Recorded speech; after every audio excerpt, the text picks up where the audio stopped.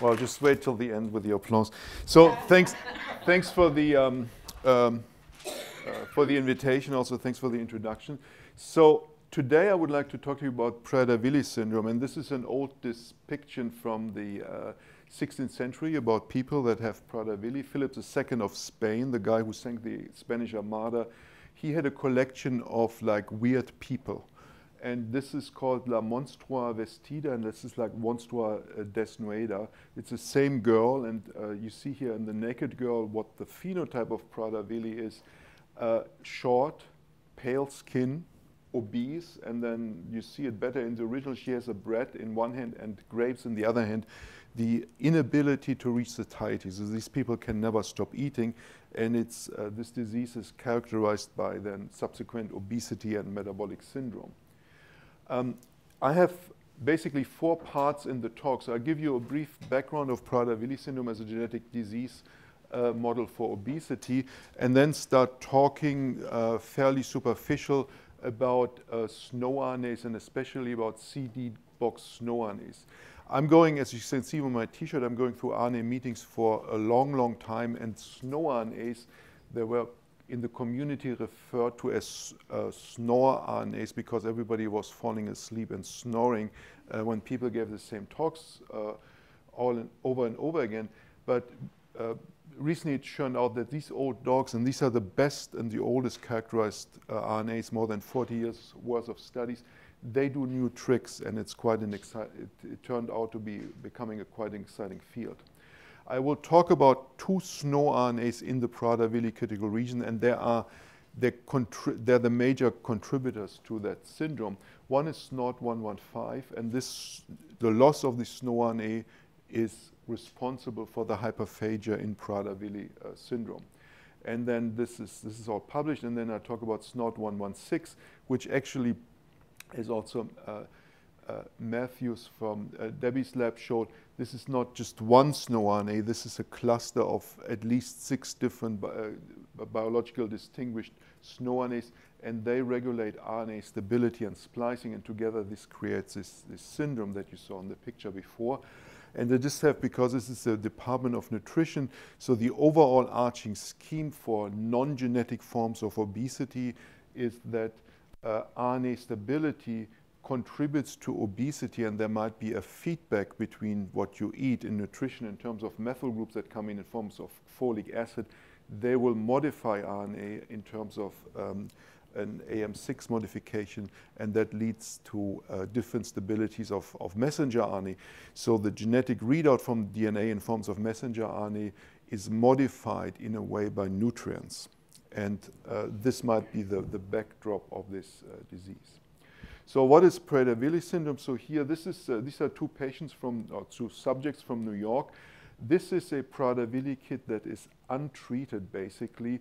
You see short hands, fairly obese, short stature, and this is a boy is called Sam.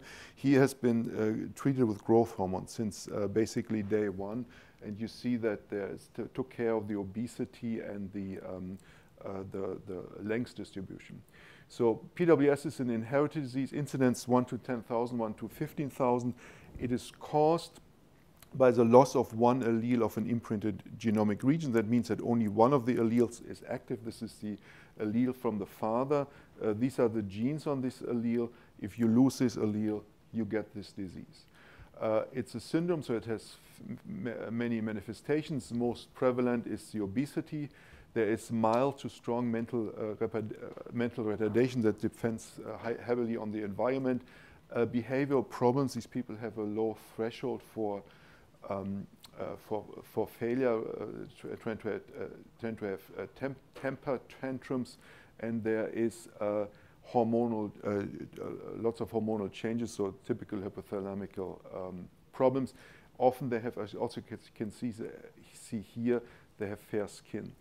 Uh, developmentally, there are very defined phases in the disease. You can, you can uh, very precisely predict uh, what's going to happen. They are born with the inability to eat. They're, they're uh, supported by gavage feeding.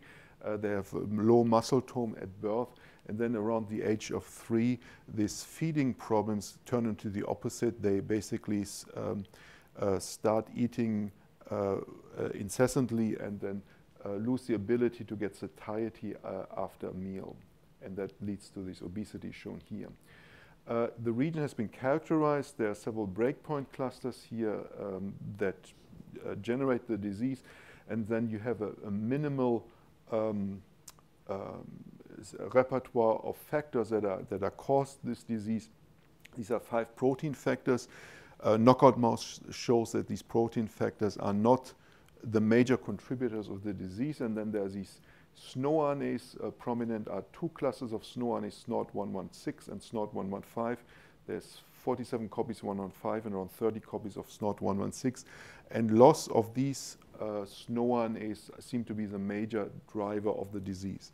I would like to emphasize this that probably all these factors have to come together to get the full-blown uh, picture here, and then there's uh, single SNORNAs here that are not well understood. So these errors here shown, uh, shown here are microdeletions. If you lose this part of the cluster, uh, you get a Prader-Willi phenotype. So as I said here, the loss of CD-box SNORNAs contribute to pre-WS, uh, but I say contribute. This is a, the latest patient reported with a loss. This is this cluster here. He lost only SNORD116, and he looks fairly normal. You have to be a trained clinician to figure out that this person has uh, Prader-Willi syn syndrome. Notably, this person you see he is slim, uh, relatively slim. He is not. Uh, he doesn't have hyperphagia because he is unaffected in this cluster of SNORD115. And this is a contrast here to the classical full-blown picture of PWS. So the loss of CD-box SNORNAs are critical for Prader-Willi syndrome. Uh, so what are, what are CD-box SNORNAs? I would like to drive home two major or three major points. First of all, they're highly expressed. So you all heard probably of uRNAs, yes, U1, U2, U3 RNAs. And what's, what this is, is basically is that with Stone Age methods, you can isolate these nucleic acids. This was before people knew that there's RNA. And then this nucleic acid had a base called uh, uracil or uridine. And this gave the name of uRNAs. So these were simply nucleic acid that had that had uh, uracil uh, inside, and then U3 was the third most abundant of these things. And this is one of this, this is the most abundant CD box SNORNAs. There are as many numbers of U3 molecules in a cell as a total number of uh, messenger RNAs. And this is just one of the 250 SNORNAs. So they're incredibly highly abundantly uh, expressed. That's number one. Number two, uh, they have been studied for a long time, for over 40 years, and they form uh, basically methylating complexes, and they, they send uh, methylation activity, 2' O methylation, to mainly ribosomal RNA, in humans only to ribosomal RNA. So they modify ribosomal RNA structure necessary for function. Now, over the last couple of years, new functions were discovered. I show you some of the functions here. And this is, and this I show you the data. This is by the um, formation of non-methylating complexes, the enzyme that these SNORNAs have is missing there, and then they get new functions, the change of alternative splicing and the change of messenger RNA stability. With three exceptions, all human SNORNAs is different in other organisms like in yeast. With three exceptions, all human SNORNAs reside in an intron, and uh, they are released in the splicing reaction from this intron and then they form a protein complex that is shown here. And this protein complex does two things. It it acts as a scaffold for the uh, for the um, formation of an RNP so the RNA uh, allows proteins to attach to this uh, to this complex here. This is one thing. And the second thing it acts as a guiding machinery by uh, RNA-RNA base pairing, uh, the target RNA, in this case a ribosomal RNA, is brought into the distance of here of an enzyme called fibrillarin that performs 2' O methylation. So this, this hydroxyl group gets an, a methyl group attached that changes the, uh, the um, structural requirements of the, uh, of, the, of the RNA. So that's a classic picture that you find in textbooks of CD box SNORNAs. And then fast forward a couple of years, uh, this is based on NMR structures of archaea a SNO-RNPs. So you have this uh, structure here. The SNO-RNA has a stem at the end that protects this RNA from degradation. Then there are two structures here that become important later. This is an, called an RNA kink that is made by these two elements, a C and a D box, and this comes in duplicates. There's a C and D box here and C prime and D prime box here. They form an RNA structure, as the name said, that's a kink where the RNA makes a, sh a sharp turn in these three nucleotides. This kink is stabilized by a protein called 15.5 that defines this uh, RNA structure, and then there's uh, two structural elements, as space holders, SNOP58, SNOP56, and they attach then at fibrillarin that performs this methylation here. This is a classical picture, and this is about, has been shown experimentally only for something like five SNO-RNAs. The rest was deduced, and then there was a problem that about half of the 257 human SNO-RNAs don't follow these pictures. We don't have the targets. They're highly expressed, and the question is, uh, what is their function and how is this uh, generated? So before we come to the function, I just want to give one more background information. This is based from U3 SNO-RNA um, that, uh, that showed this assembly uh, process here. So a typical SNO-RNA is, is shown here, encoded by an intron. Uh, there's a space requirement to the branch point in the, uh, in, in the lariat when this uh, complex is formed. Uh, the lariat here after splicing is opened up. There's exonucleases that trim down the SNO-RNA, and the SNO-RNA has this, in yellow these ends here that bind to each other that protects chopping down from exonucleases. So once you have this RNA uh, formed here, there is a protein complex formed by the R2TP uh, complex that contains a bunch of chaperones and already a bunch of the structural proteins that is loaded on this protein complex here. This is important for nutritional scientists like you because the RT2 complex is regulated by the mTOR pathway. So in, when a cell starves, this uh, system is essentially switched off and no SNO-RNAs are formed and no, subsequently no ribosomes are uh, modified. And then after further processing steps, you, uh, uh all the proteins are loaded onto the, uh, onto the uh, RNA and you get then, oops, you get then these these complex here. Um, most functions, and I want to stress this, are predicted experimentally only for five SNO-RNAs. This system, this 2' O methylation and the, um, uh, the, um, uh, the, the, the, distance requirement was shown for on, only for, for these, these five SNO-RNAs. For the rest of the SNO-RNAs, what people did, they knew the modification site of the ribosomes and they kind of knew the sequences of the SNO-RNAs and then they kind of mapped it back.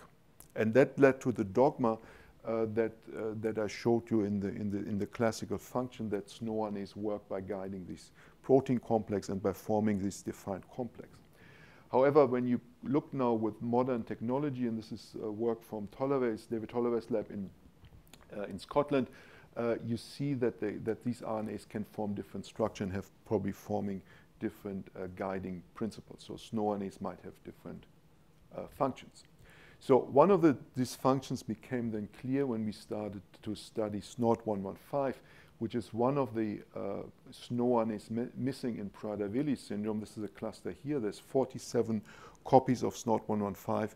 With four exceptions, all these copies are identical. So you have just a massive um, uh, I mean, multiplication of a, a in these regions. And to, uh, to summarize the findings in 10 years of work, they regulate one splicing event. That is a physiological function, and this is the splicing of the serotonin receptor 2C that does two things. Number one, it makes voices, uh, generates voices in your head or makes them go away. Number two, it regulates food intake. Um, Okay, so serotonin receptor 2C is uh, located on the X chromosome and it undergoes alternative splicing here in the coding region. It has one exon, exon 5B, that, it, that is alternatively spliced. If this exon is skipped, you get a, uh, so is, is this exon is included, you get a full-length receptor that undergoes, that is a seven transmembrane receptor that sits in, in, in part in the cell, cell membrane and can signal. If this exon is skipped, you get only three transmembranes. And for a long time, it was unclear whether this protein is, uh, is um, uh, expressed or not. So we, we made an antibody, we showed it's expressed, and it's sitting only inside the cell. So this short protein sits only inside the cell and sits in the endoplasmic reticulum. And it's not just sitting there, it heterodimerizes uh, C2C tails, uh, sorry, N-to-N tails with a full-length receptor, and it basically keeps the full-length receptor intracellularly. So the splicing ratio of these two proteins controls how much of the full-length signaling receptors on the surface. In other words, the splicing, um, the splicing um, ratio of these two isoforms, so alternative splicing of exon 5B, controls the activity of the full-length receptor. So this kind of functional identification came back like 10 years later. So when I came into the field, somebody called me up and said, we found this SNO-RNA, the antisense box, the targeting box, is has complete sequence complementarity to the, to the serotonin receptor. Uh, and then what does this mean? And we set up a system which we were fairly good in the lab. We set up a co-transfection system, so we overexpressed a SNO-RNA in the right context. It's called HB252. It's the old name for SNORD115. Uh, it's after its inventor, it's Hüttenhofer Brosius library 2 clone number 52, now known as SNORD115.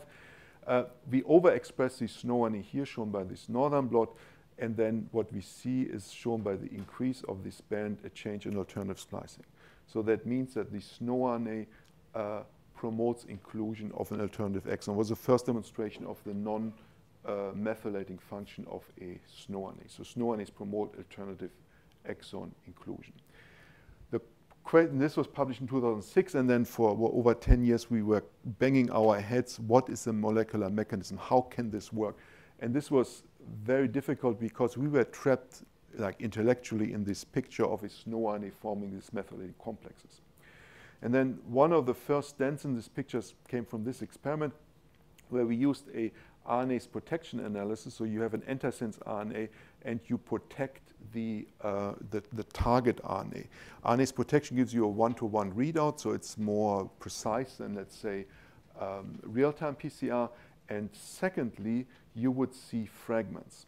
So this here corresponds what has been published in the 2000 PNAS paper from the Brosius Hüttenhofer who discovered this in cropped out pictures. However, if you show that for protection, you get this picture. And what you see is that this is not one SNO-RNA. This thing is processed into shorter RNAs that we call p-SNO-RNAs for processed SNO-RNAs. And there's now plenty of evidence from RNA-seq data that this is actually happening to a lot of uh, other SNO-RNAs. So these, they, they don't form the full-length SNO-RNA, they form shorter fragments. That means they do form different protein complexes. And this is just a control. It shows this on a northern blot analysis. Uh, second thing is we asked what kind of proteins bind to these SNO-RNAs. Remember, in the canonical SNO-RNAs, there's four proteins. There's 15.5, the kink, and then NOP40, 58, uh, 56, and the methylase fibrillarin. We pulled this down, and we find completely different protein, basically hnRNPs, a bunch of transcription factors, uh, and that's, that's about it. So we don't find in this biochemical isolation an association with fibrillarin. That means that this thing does not methylate other uh, RNAs, and it's not typical proteins for CD box uh, SNO-RNAs. And this has implications because if if you think about the SNO-RNAs as a protein complex, you can only substitute it by putting in the uh, expression cassette that has two exons and then an uh, the SNO-RNA embedded into an intron for possible treatment. However, if this thing works as an RNA binding to different proteins, you could be able to substitute it by an oligonucleotide. And this is what we were pursuing. Uh, so through variety studies, we were convinced that the, the major target of SNORD115 is the regulation uh, of the serotonin receptor. And the serotonin receptor regulates food uptake uh, by activating POMC neurons in the arcuate nucleus. So POMC neurons, they express a serotonin receptor. If, if, the receptor there is activated by its ligand serotonin, it uh, basically makes POMC. uh, and then POMC is, is uh, modified to alpha uh, MSH that signals to the paraventricular nucleus. So this is the arcuate nucleus here, paraventricular nucleus a little bit above, and this gives a satiety signal. So we speculated that this system is messed up or not working in Prader-Willi syndrome.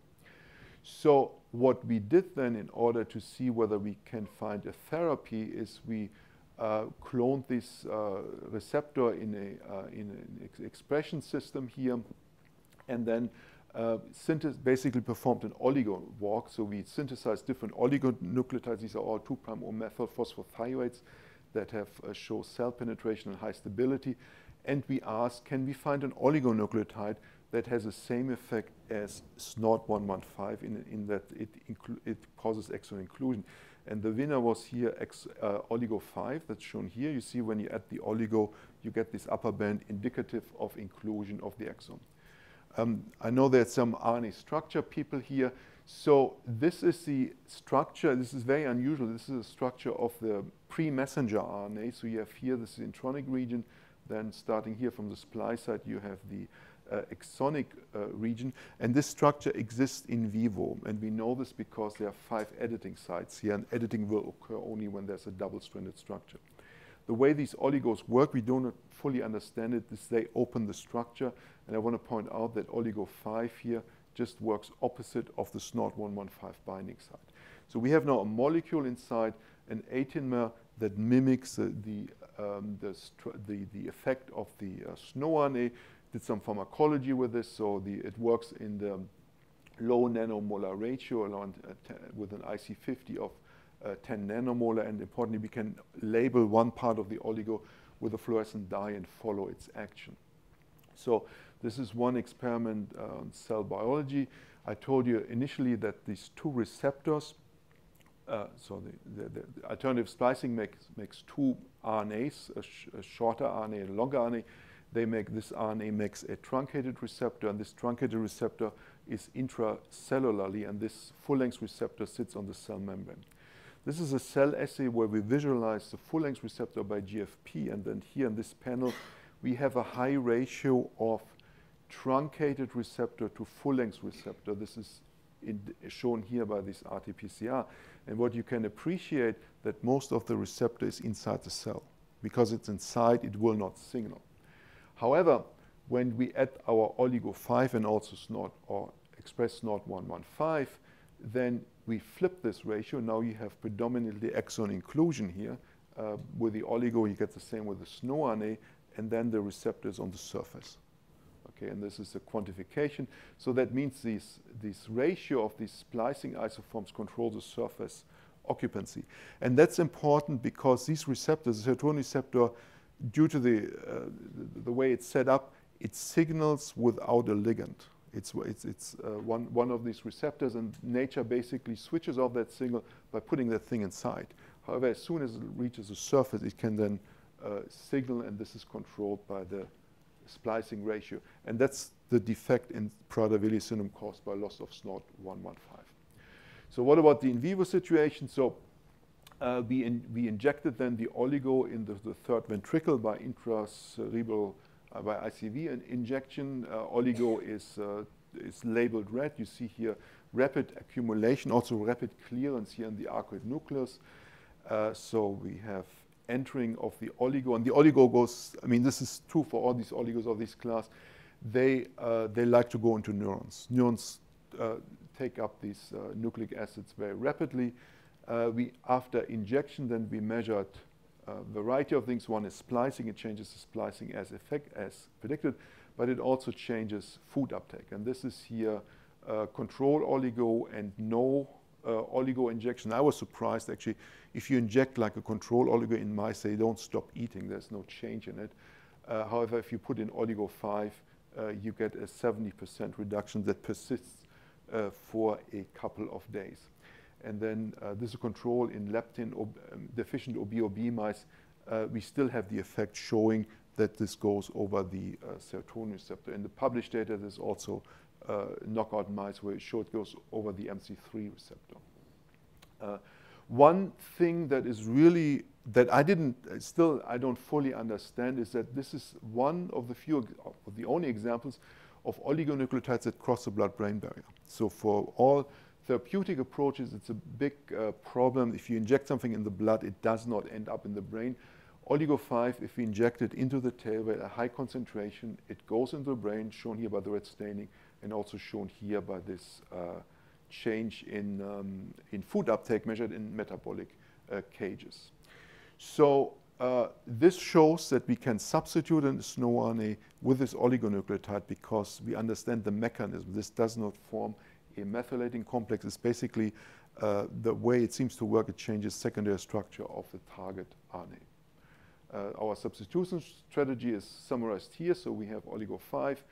We drive formation of this particular RNA, and this causes surface uh, accumulation of the uh, of, this, of the serotonin receptor.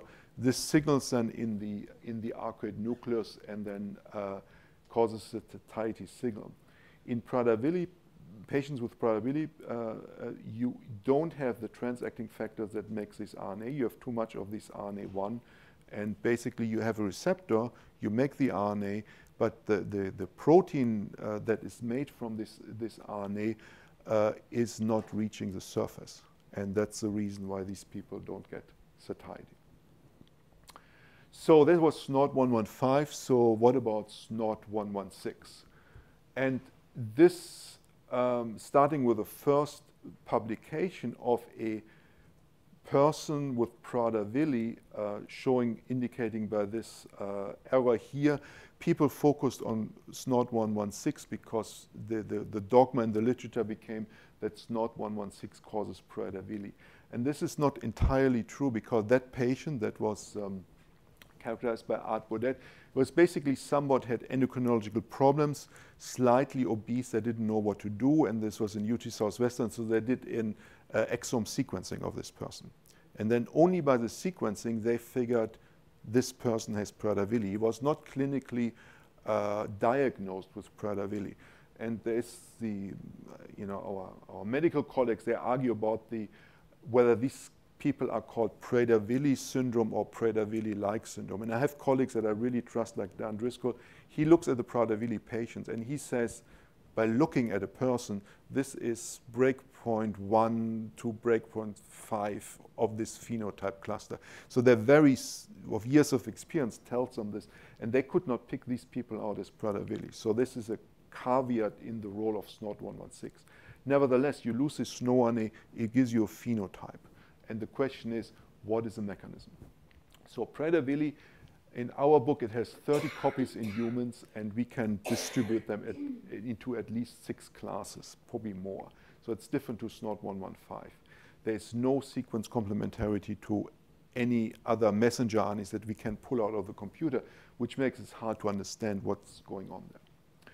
So we were banging our head in one of these early uh, desperate attempts to understand what was going on. We simply overexpressed a copy of SNORD 116 mouse in a human cell, 293 cells that normally doesn't do it, and did uh, very primitive array analysis and fished out about 200 genes that changes gene expression. So we, we were expecting a change in splicing. What we got is a change in gene expression. Again, no binding site, no idea what the hell is going on. And then Marina, the postdoc on the project, went on to um, better, to rich, richer waters in industry, and we, we published it.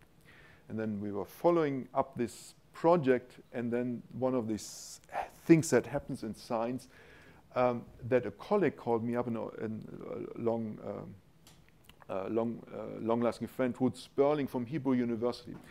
Ruth Sperling has been working on splicing for, for decades, and her claim to fame is that she developed a system that allows you to, um, to separate nuclei under native conditions. I'm not sure whether anybody here works with nuclear extracts, Dignam extracts.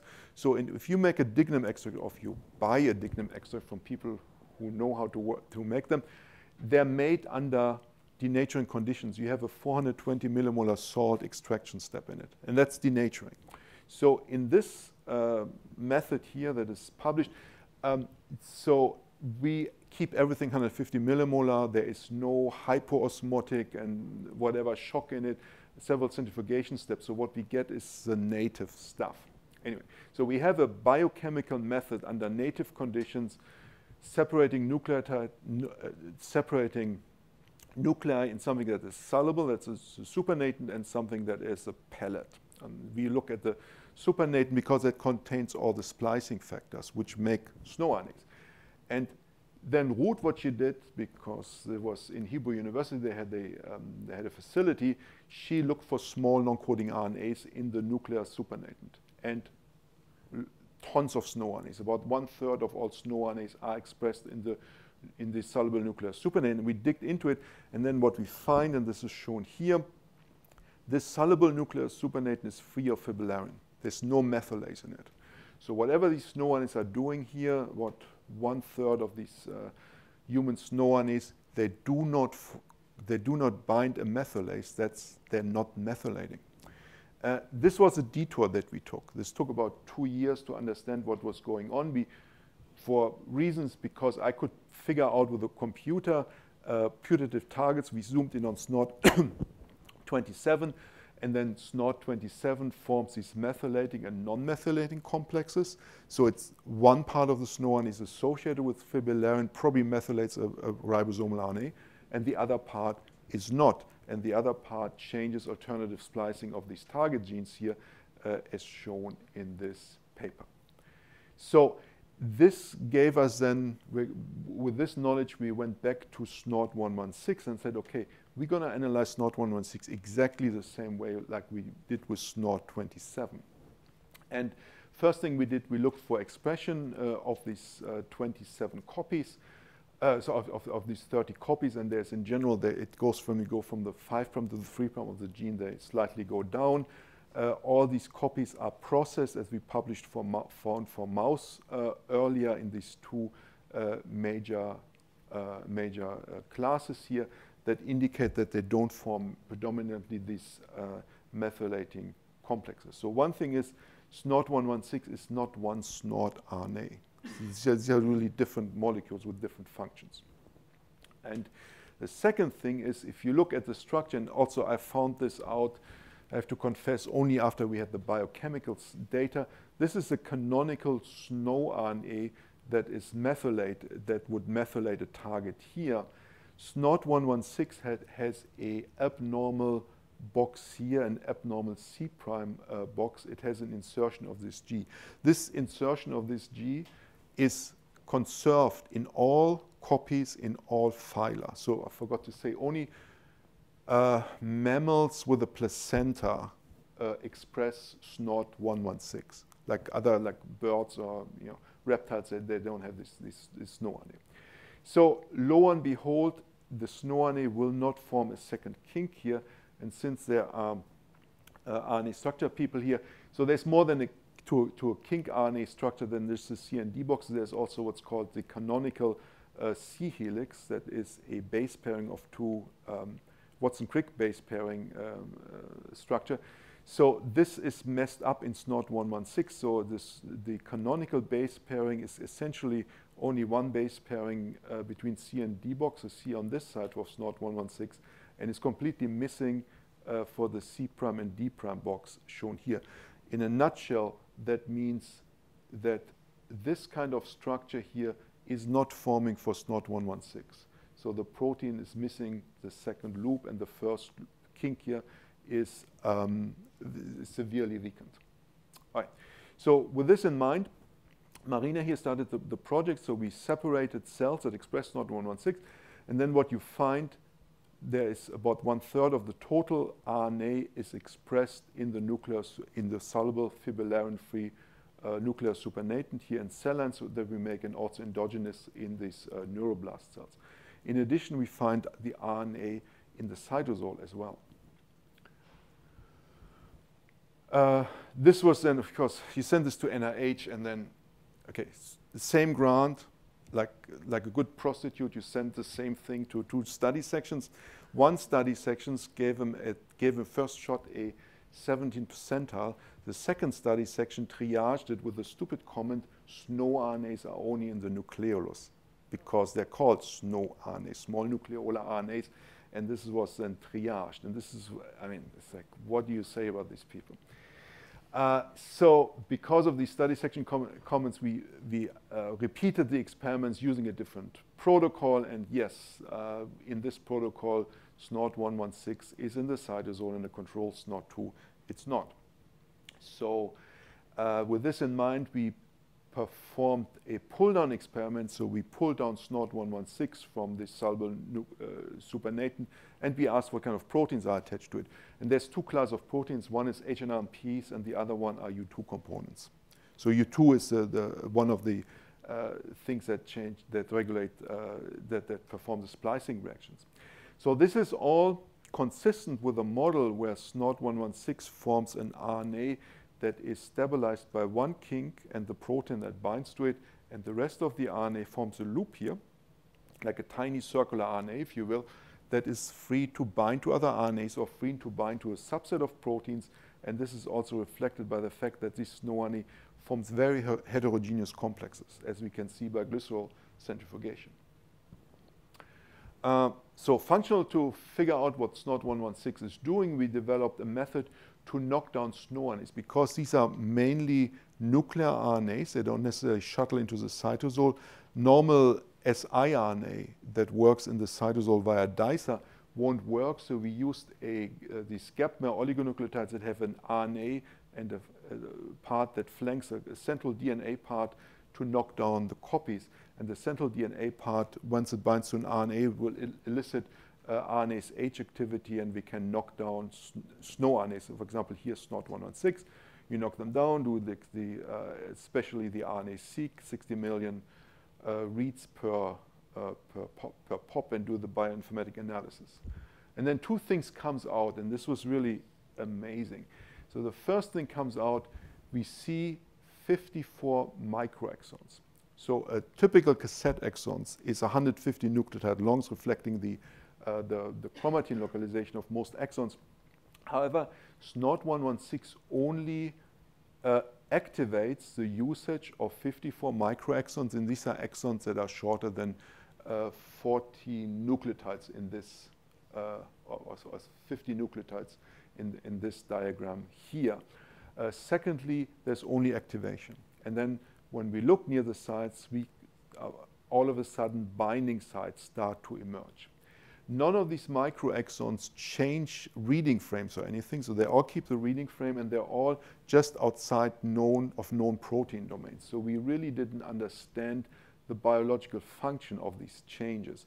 But I want to remind people that uh, deregulation of microexons is associated with autism, and um, like Prader-Willi people have autism uh, spectrum disorder-like uh, phenotypes. Um, the, the, the most dramatic effect of SNORD116 knockdown was the expression of a change of expression of about 750 transcript, about uh, like around 80% of the transcript go up when you knock down SNORD116. So there will be going up in Prader-Willi. And this was the ver biological verification of the RNA-seq data, and then more validation physiological in postmortem hippocampus, and then together with Larry Reiter, we used human neuronal cells, so because they're not post-mortem anymore, uh, made from patient dental stem cells, and you see here that these SNO-RNAs, that these target genes are regulated. So we have a validated list of target genes. How does it work still? So first we did RNA pull down, didn't work, and then we used a protocol from that was developed by the Blencowe lab, which that they call LIGA, where we basically cross-link cells in situ in the living cells with AMT, that's like a psoralen for RNA people, and then pull down the RNA complexes, deprotein and pull down the RNA complexes, and then capture SNORD116 complexes and do RT-PCR for target genes. And when you do this kind of expression here, all of a sudden we see the interactions. And we see the interactions only after crosslink. That means that they are transient, they're not really stable. So we have now target genes, we show binding, what is the function. And in order to zoom into the function, we had to concentrate on one model system, and the model system I choose was CFOS. And to be perfectly honest, I choose CFOS because this is the, the it's an immediate early gene, and that's the um, the poster child for RNA stability. Like every nucleotide in the C-FOS3' UTR has been assigned a function in RNA stability. So because of it's well studied, I choose it, and then what you write in grants is you choose it because uh, C-FOS is in the cascade of the serotonin receptor. So when you, in the arcuate nucleus, when you turn on serotonin receptor, the signal is transduced via C-FOS as a transcription factor 2.C that makes a satiety signal. Um, the method we choose to analyze SNORD116 was this hetero, was this uh, reporter system. The way it's set up, we have a globin reporter, and the globin reporter is under the control of the C-FOS promoter. So the C-FOS promoter is only uh, active in serum. So the way this works, you put this into cells, then you starve the cells, that switches off the C-FOS promoter. So none of these reporter gene is made. Then you add 20% serum. In 20% serum, the, the promoter immediate early gene goes on immediately, and it automatically switches itself off through the MAP kinase pathway. So you get a small burst of the uh, promoter. It's a simple induction uh, pathway that works very well in 3T3 cells. The beauty of the thing is all our other uh, components are dependent on RNA polymerase. So we cannot work with actinomycin or, or some of these inhibitors, plus in this system we do not poison cells. So what we did is then we used, we swapped UTR, so we, we swapped the globin UTR with the C-FOS UTR, and put a bunch of transacting factors in it. And this shows various controls. And what you see here in this lines, if we have just uh, the SNORNA, uh, sorry, the, the, reporter gene here with the, um, with the stabilizing protein HUR, that thing is rock solid. However, when we put in SNORD115 and one copy of the, six copies we tested, we get this degradation. Uh, this was then repeated with a, a reporter that has no longer introns, that is le intrinsically less stable, and then in the presence of SNORD115, uh, SNORD116, we, know, we are no longer able to see this reporter messenger RNase, which is antagonized by uh, HUR.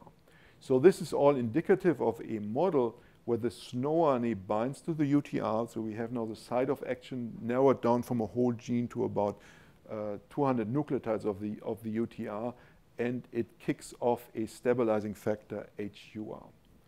Uh, this model was tested then in this titration experiment where we increased the amount of HUR, uh, so or, or decreased the amount of HUR that we titrated in, and at the same time increase the amount of SNORD116. And when you do this, the half-life of your messenger RNA goes down. So the model here is then that this SNORNA bind competes with factors binding to the, to the 3' UTR, like this molecule HUR, and the SNORNA kicks HUR off. I forgot to mention HUR stabilizes messenger RNAs by binding to these AU-rich sequences. Uh, so the binding site for HUR is basically four U's in a row. Uh, these AU-rich sequences, they are found in many cytokines and many immediate early genes. Uh, there are typically rapidly degraded because there's a protein called tristetraprolin binding to it that attracts the, the, the, um, the deadenylase, and then these RNAs get rapidly, uh, ra rapidly uh, destroyed. HUR prevents this tristetraprolin from binding and stabilizes these proteins. And now we think that SNORD116, by binding uh, in this mode, um, kicks off HUR, makes these RNAs then again unstable. Um, now, narrowing down the binding sites allowed us to identify the binding modes. So similar to microRNA, there seems to be a seed sequence that we've seen before in splicing uh, uh, um, uh, pa paradigms.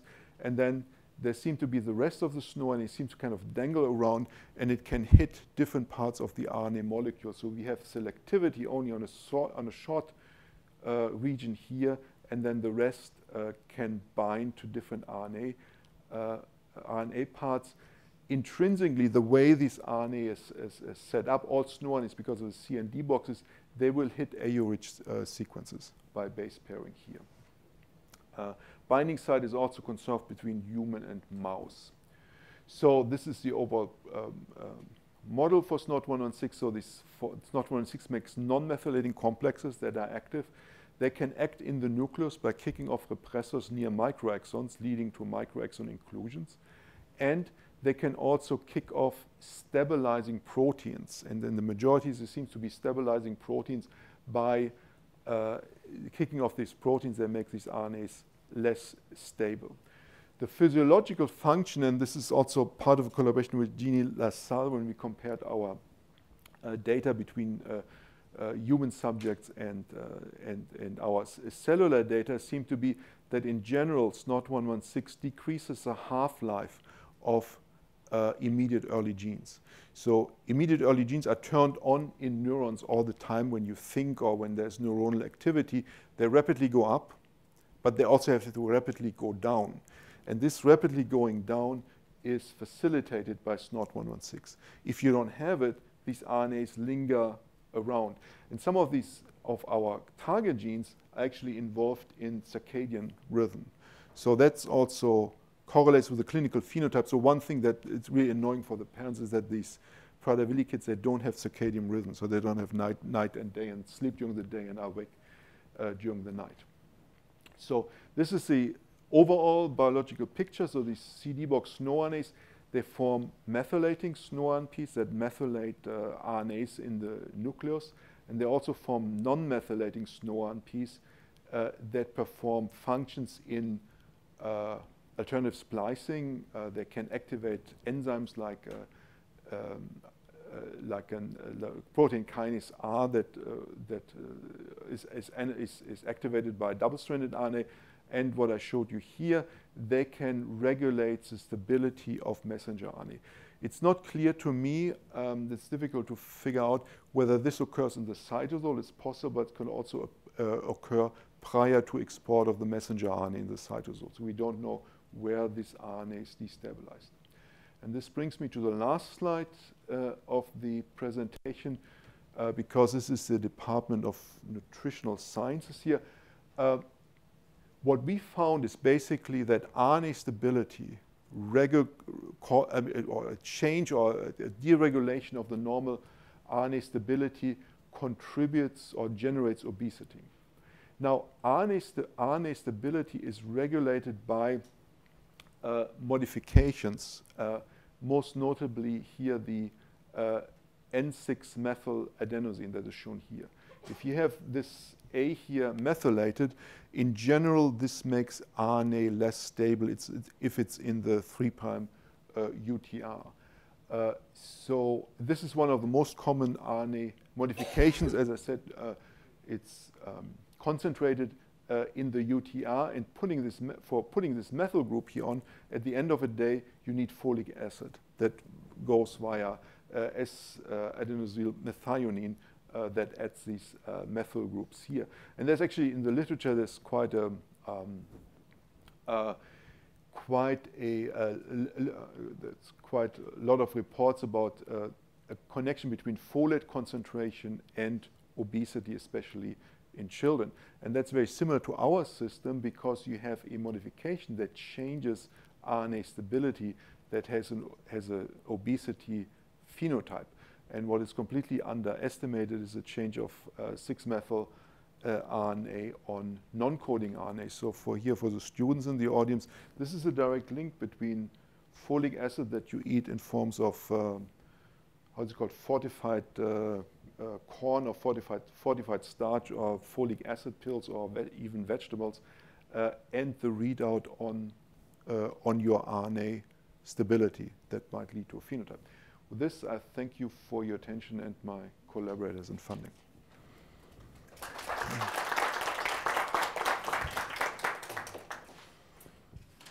I hope there are questions. Looks like there are.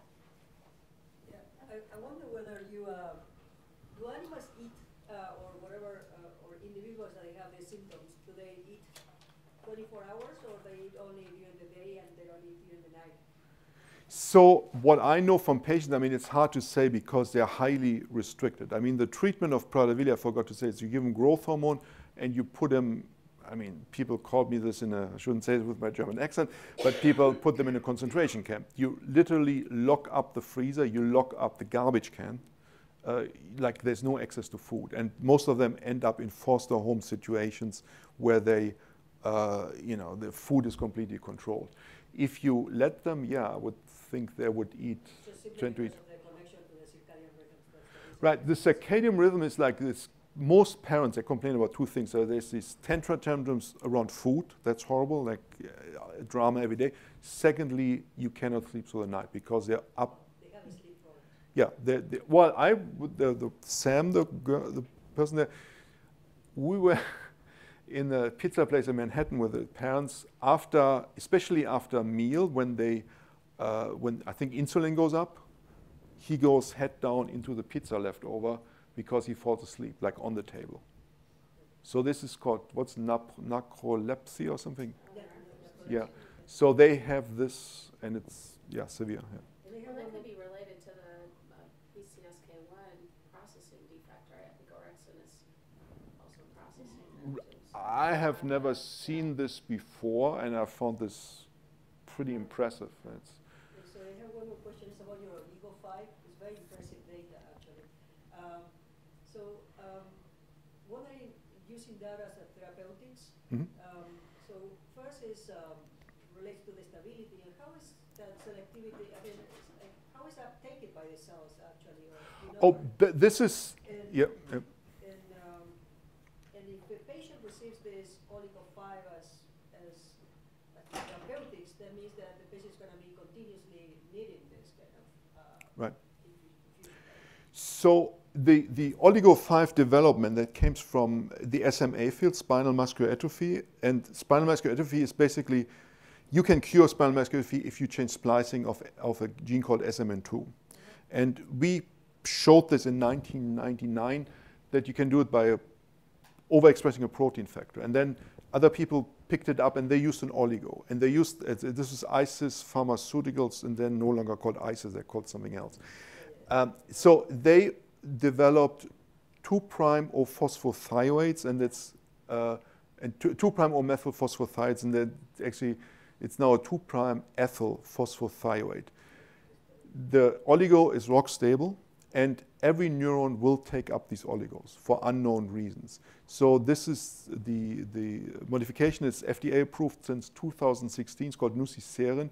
It's injected once every three months into the spinal fluid, and then it penetrates the neurons and stays there long enough for the. I mean, this just started. I mean, they was one of the, the clinical trials where the FDA pulled the they had a control group and a efficacy group, and they pulled the control group up because the control group was going down and it was working. So, so th- this is there's similar oligos for dystrophin, and we follow this thing. What is new here?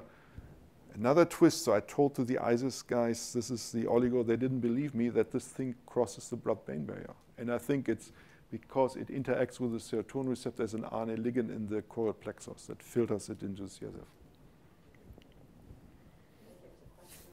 Um, Do you have any idea about the stability of these SNO RNAs, and if they're like fast acting or if they're active about the same number of times day? Yeah, so the canonical SNO RNA, like U3 that does um, does ribosomal, it, cleaves a pre pre-ribosomal RNA. They're stable for days. I mean, it's it's not messenger RNA. I mean, these things are stable uh, throughout the life of the cell. Uh, for other SNO RNAs, I know for SNORD115, we measure this. This fluctuates quite a bit in the hypothalamus about feeding and starving. So it depends uh, what SNO RNA, it depends in what complex they are. I believe if they are in this methylating complex with proteins around and stuff, this stuff is stable, like a splicing uh, spli- spliceosome, right? Uh, if they are in this kind of transient uh, uh, complexes here that make that regulate uh, messenger RNA stability, they would be less stable. Um, first of all, I think your t-shirts is awesome. I love it.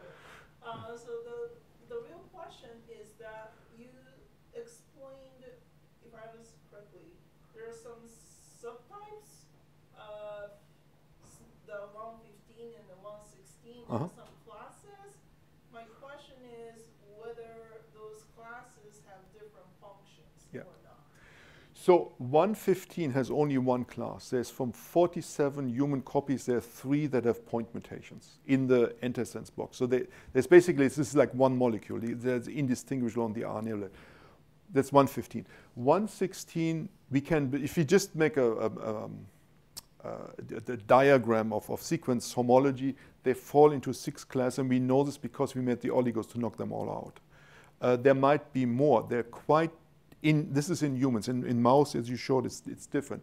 So in, in humans, they're quite, they're, they're, from the sequence, they're quite different in terms of their primary sequence. That doesn't necessarily mean because in, in RNA, a G can base pair to a, a U can base pair to a G and to an A, uh, that they don't have the same targets, but it looks like they're different molecules.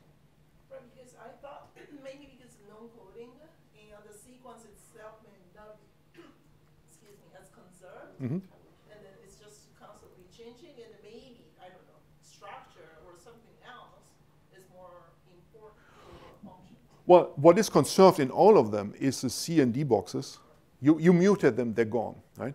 Uh, and what's conserved is that the C prime box that forms the second loop here is messed up.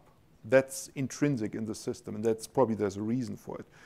Uh, but the binding side, the way I think it, if you look at a um, evolutionary conservation plot of messenger RNAs, there's usually the coding sequence is, is conserved outside the third wobble base, and then the and then it drops down in the UTR. But in the UTR, there's always like areas that are highly conserved. And this is probably what we see in the SNO RNAs. So we have probably SNO RNAs that are evolved to pick out certain UTRs. And one thing we also drove it down in, the, in this PNAS paper we looked for the evolutionary conservation for SNORD 27 splicing targets, and they're not conserved, which is an interesting thing because um, the computer scientists here. So the, the holy grail of computer scientists, that they, they look for evolutionary conservation. If something is conserved, it's important. That's, in, in a nutshell, that's the argument. What we see with the SNO RNAs, actually, they're not conserved and it might simply reflect our, our current ignorance about the, the binding sites. It's possible that UTRs evolve and then the snow SNORNAs evolve in the same way, but we don't understand the targets, we might not see it. Same for microRNAs. I mean, microRNAs is functional if it's evolutionary conserved. I think that's a circular argument. But get it out uh in, spent more time looking at 116, but 115, a single non-coding RNA, only job is serotonin, mm-hmm. uh, you know, to see receptor. It just seems, it just seems too. It, it, it should have more. I mean, yeah. do you ever? Uh, uh, there's really just nothing else. No, we well, we haven't found it yet. So we looked. I mean, I spent a whole hour one looking for target genes. And so we basically found by bioinformatic analysis and doing RT-PCRs, we found other splicing things which are not as dramatic as a serotonin receptor. So there might be other sidekicks to it. What we found by overexpressing copies that SNORD115 works together with SNORD116. Okay. So they seem to, in ways that I don't understand, they seem to modify each other. It could be that they compete for processing factors, or that they actually that the RNA bind together by forming CD box dimers. They're set up for this. Problem is not 105, there's no single cell line. So I cannot knock it out in a cell transiently, looks what's going on. And uh, I, as a biochemist, I believe cell knockouts more than I believe mouse knockouts because I don't have these adaptation things. So this is the only, this seems to be the physiological most relevant uh, thing, and we can alleviate the most severe phenotype by an oligo that mimics 105, that goes over the serotonin receptor. Yes? Probably the last one, because I think Carla keeps us on time, right? Mm. I lost time. Okay. yeah, go ahead. So in the presentation, you mentioned that SNO RB116 might sharpen the induction of immediate early response to neurons. Mm -hmm. 116 will lead to the delay, the uh, degradation of uh, C-FOS mRNA. Uh, so there are more than 200 uh, SNO RNA and uh, more than 10 immediate early genes. How do you find just uh, this specific uh, association? Oh, yeah. So there's 257 SNO RNAs and immediate early genes, I don't know how many are, but more than 200. So it's, I think it's, it's quite a lot that are, uh, that are analyzed. So this is a, this is a working hypothesis. So we, when we, when I looked at the, I mean, when we got this gene list, the first thing I looked at, um, like how many T's, how many, you know, triple T's and whatever are in, in these genes. And what you find is these A-rich sequences that's really popping out. And that's the hallmark of destabilized messenger RNAs. So these are highly enriched in our, Uh, in our genes. That, by the way, it doesn't pop up when you look in, in Davita or something. You have to really look for it. This is where this working hypothesis comes from. Secondly, yeah, this is just my, I, I guess it's a personal bias. We zoomed in on one RNA where we can regulate the stability. So I, I cannot rule out that these things do other things, that the SNO RNAs do other things, but this is one thing that's not 106 doing. So, I mean, you, you're right in this point. That's, yeah. We, we're pushing one model. Well, thank you Thank you.